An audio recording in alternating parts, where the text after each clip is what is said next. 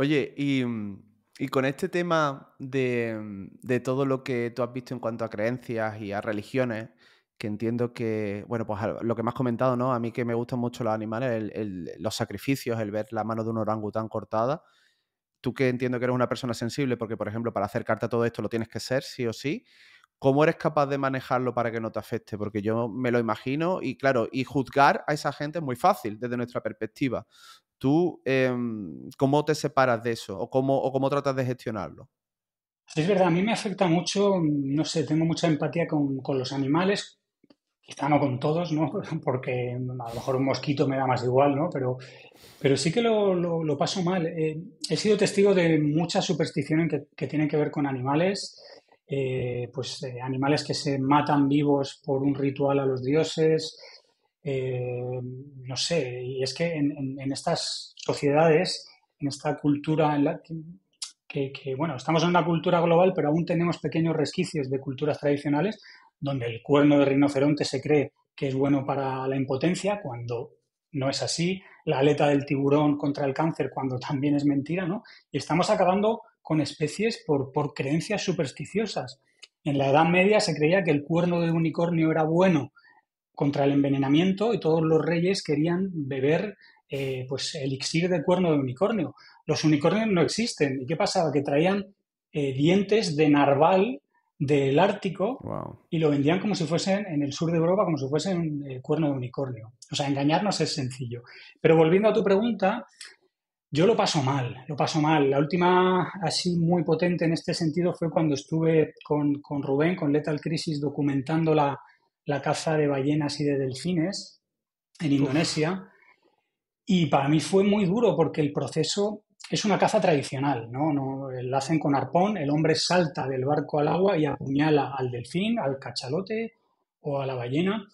Y claro, ver a una persona que salta al agua con un arpón, apuñala a un delfín, además la primera vez que lo vimos era un delfín bebé, lo sube al barco y deja que se desangre, que se muera.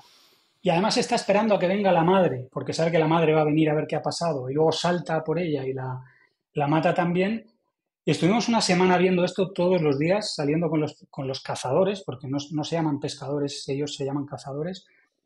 Y fue duro. Yo recuerdo que cuando acabé, volví a, a Bali, donde estaba mi mujer, me metí en la ducha y me puse ahí a llorar, porque había estado aguantando la tensión durante una semana.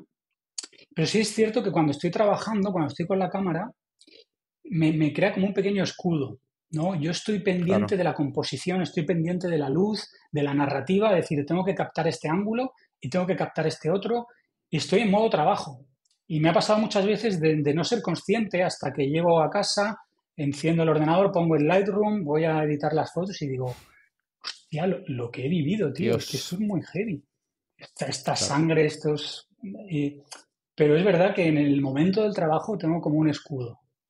Sí, eh, yo recuerdo, no sé si viste una película sobre The Bang Bang Club, este club de fotógrafos que había en, en Sudáfrica, que cubrieron el apartheid, pues te la recomiendo porque es, es increíble. De hecho, uno de los fotógrafos fue el que retrató a, a esa niña con el buitre detrás. ¿Te recuerdas esa foto Ah, que fue muy sí, icónica? Y que acabó suicidándose. Acabó suicidándose sí, precisamente por la presión, por la presión social y de hecho, eh, él decía antes de, co- con toda esta presión, que en esa foto eh, estaba buscada el encuadre, obviamente, ¿no? Para impactar y para que al final pues hubiese una solución, que si hacía un paneo a la izquierda había todo un campamento de refugiados con un millón de personas y esa niña no se le iba a comer el buitre. Pero al final sí. eh, no deja de ser, al final en este caso que fue muy duro, pues al final la presión le pudo y, y tuvo que acabar suicidándose. Es verdad que tenemos ese escudo, pero que es difícil, difícil de gestionar, ¿eh? Es muy difícil. Y luego, cuando haces una fotografía, como es este caso, el encuadre es muy concreto, pero falta todo el contexto. Y esto yo pues lo, lo veo muchas veces cuando publico a lo mejor en Instagram o en cualquier otra red social. Y mucha gente, claro, falta contexto, ¿no? Uno siempre puede explicar en, en el texto lo que, lo que ocurre allí, y pero, pero muchas veces me han dicho, ¿y por qué no has ayudado a esta persona? ¿Y por qué no sé qué? Bueno, ahí ya entraríamos en el debate de, yo soy fotógrafo, no soy una ONG, para empezar, ¿no? Pero claro, claro. dependiendo de la situación, obviamente mi humanidad me, me haría ayudar, pero es que no entiendes el contexto. Como tú dices, a lo mejor hay un campamento de Naciones Unidas al lado, un hospital, y yo simplemente quería plasmar un momento concreto, ¿no?